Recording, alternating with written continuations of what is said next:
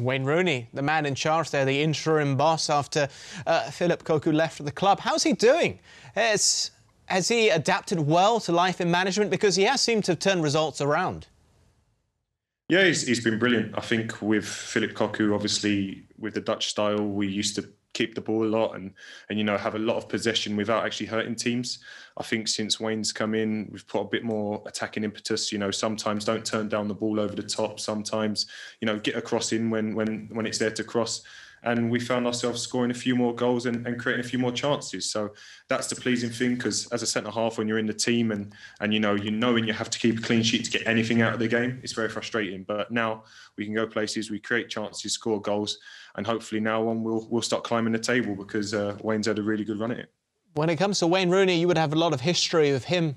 Emile, for, for England duty and the great partnership that you two have. Would you ever envision that he would be a manager at the age of 35, turning 36 this year?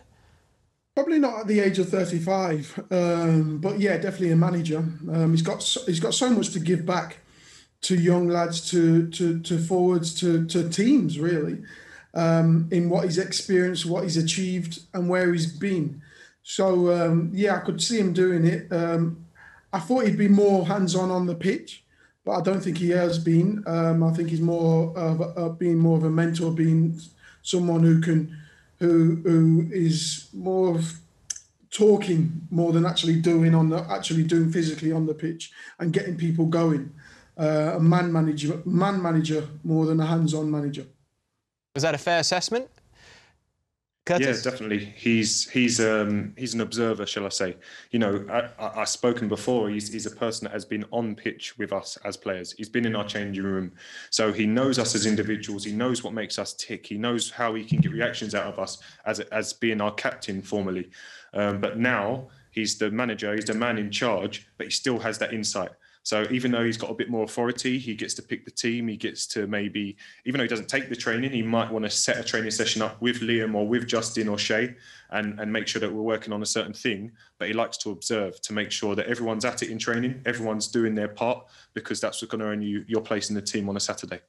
Has he become more serious now, though? Has he had to distance himself a bit from the players? Yeah, he's had to. Uh, it's one of those things, you know. We went from having a laugh with him in the changing room and being in the group chat with the lads sending silly messages and stuff like that, and all of a sudden Wayne leaves the group and now he's your, your gaffer. So it's it's a really interesting dynamic. Obviously, we still have a close relationship to him in terms of having a, a general chit chat, but you know, when it comes to game day, he's the gaffer. He he, he makes sure that he's he's a, in a professional role and making sure that we've got the right ideas and, and right guidance to go and win a game rather than having a laugh and a joke.